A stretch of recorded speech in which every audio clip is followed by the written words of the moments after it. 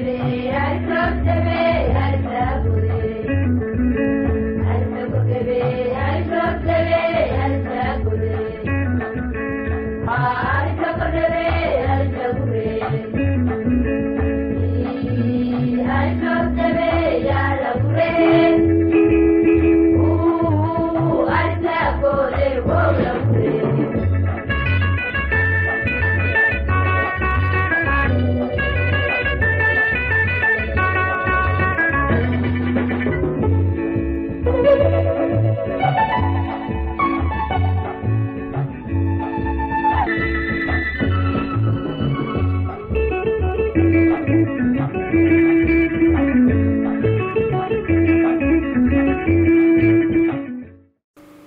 Okay, welcome to our today lesson.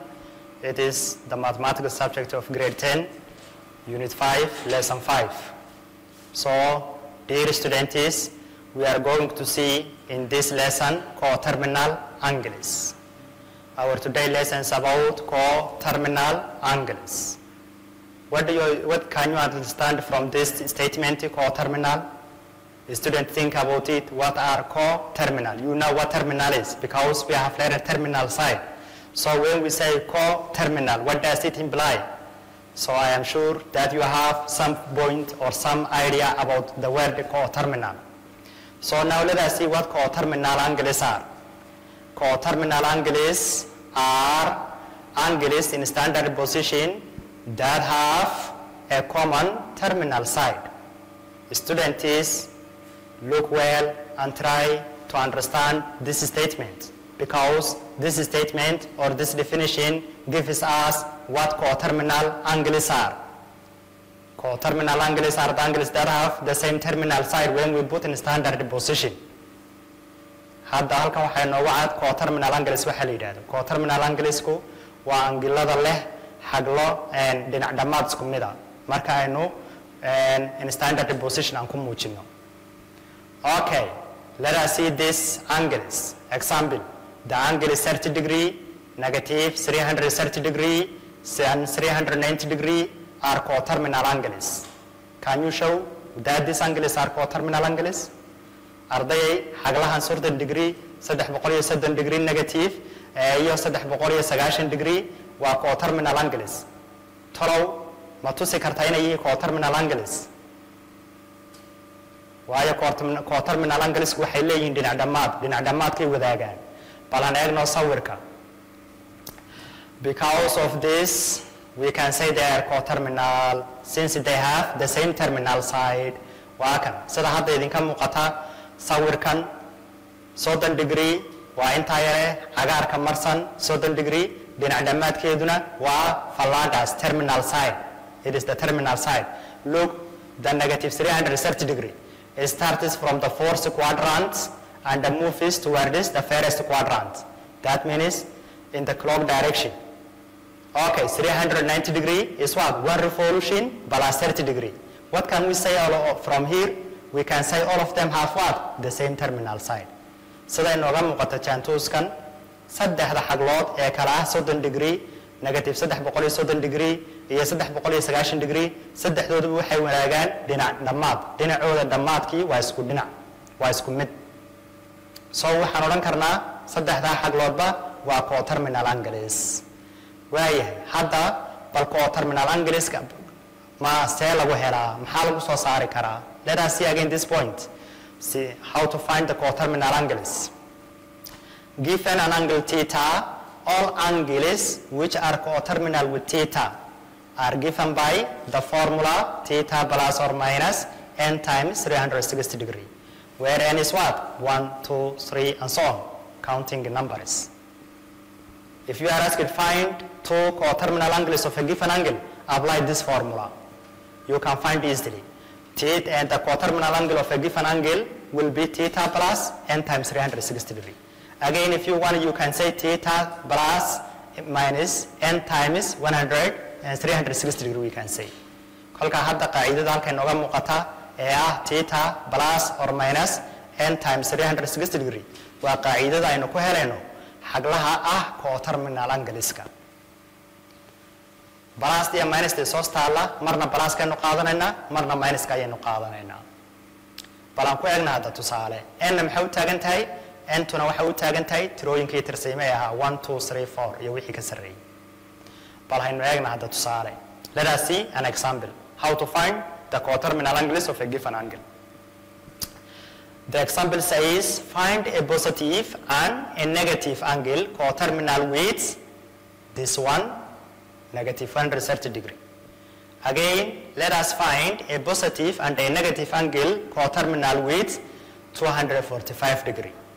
We want to find two angles, one positive and one negative. That are coterminal with what? With the given angle 245 degree.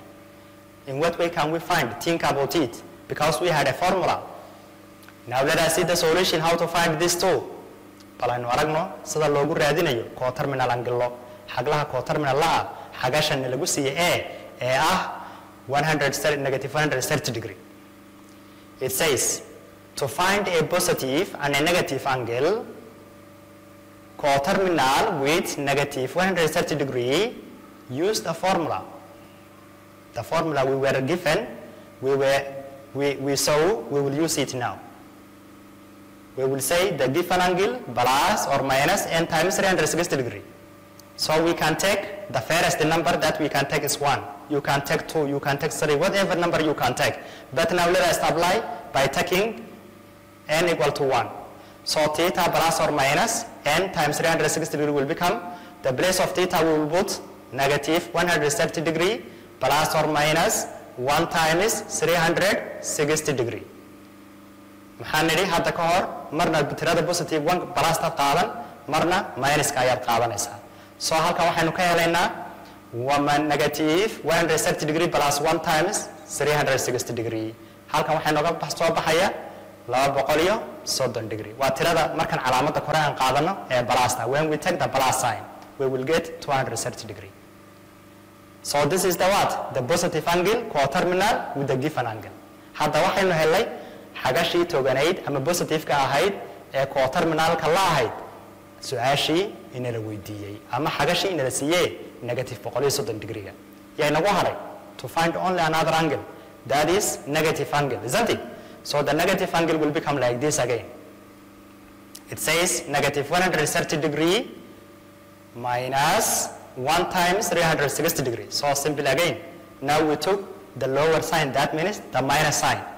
So here we will get what? Negative 130 degree minus 360 degree. And these two together will become negative 490 degree. That's all for the first equation a which was negative 130 degree and the coterminal angles of this angle which one positive and a negative are 230 degree and negative 490 degree Therefore, 230 degree and negative 490 degree are what? The coterminal angles of negative 130 degree. I hope that you got how to find. Now let us see again, it will become simpler when we see the second one, the second equation B. So let us see B in easy way. As before, the coterminal angles of 245 degree is obtained by theta plus or minus n times 360 degree. This is the formula that we use to find. Now, in short form, it is this 245 degree plus or minus 1 times 360 degree is equal to what? 605 degree when we add, when we uh, use the plus sign or negative 115 degree, 115 degree when we use what? The minus sign. So I can say what? that positive and the negative angles that are coterminal with 200, uh, the given angle in B, uh, which, which was 245 degree, are 605 and uh, negative 115 degree. How it was, students? Was it difficult? I hope that it was so simple. And that you have got the best, the, the, the important points to find coterminal angles. Let us see trigonometric values of coterminal angles maxaynu eegaynaa coterminal angleladii aanu baranay trigonometry qiimayaasha trigonometry ee coterminal angleski baynu eegaynaa waxaynu cashirkan amaba mawduucan ku qaadanaynaa oo kale trigonometry qiimayaasha coterminal angleski aynu soo baranay okay let us see here.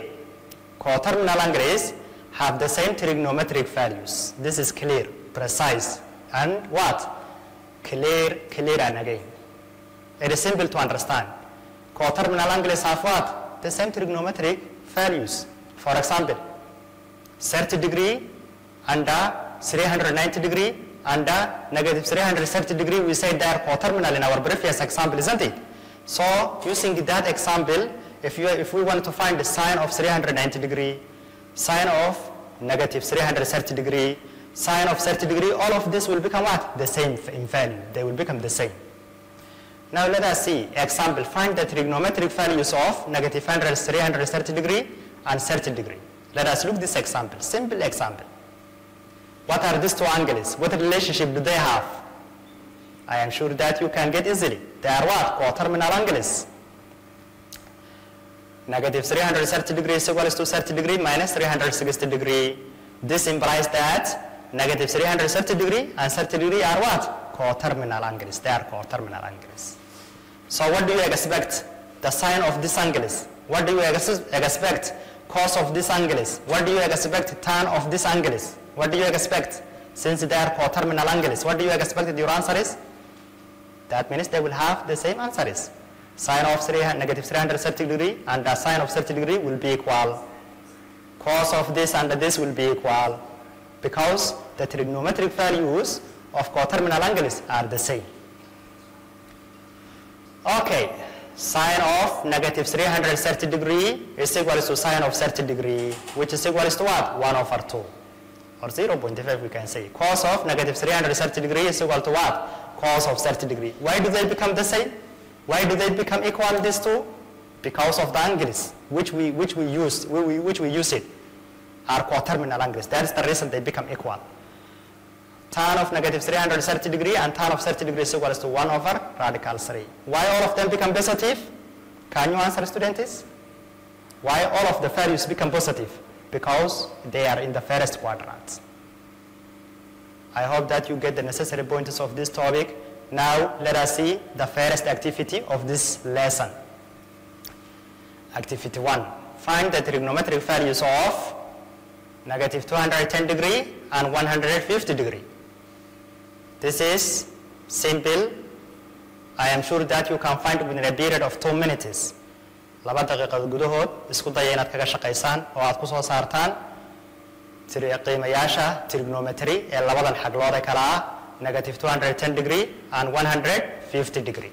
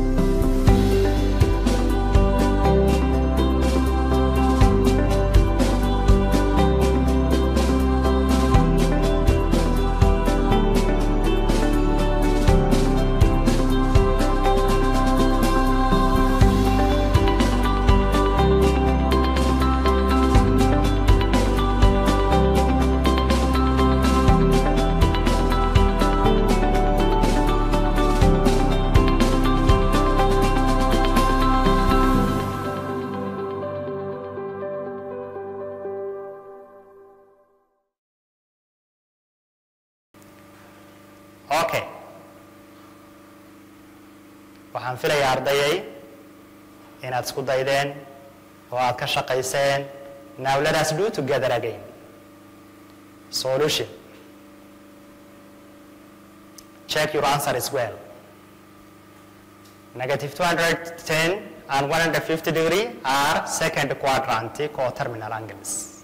Why? What is the importance of the quadrant?